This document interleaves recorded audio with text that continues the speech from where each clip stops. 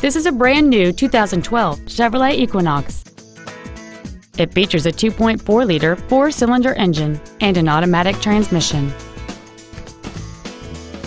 Features include direct injection, chrome wheels, a low tire pressure indicator, a digital information center, a security system, fog lamps, roof rails, a stability control system, a heated passenger seat, and a backup camera. With an EPA estimated rating of 32 miles per gallon on the highway, this automobile is clearly a fuel-efficient choice. Call or visit us right now and arrange your test drive today. James Wood Auto Park is located at 3906 Interstate 35E South in Denton. Our goal is to exceed all of your expectations to ensure that you'll return for future visits.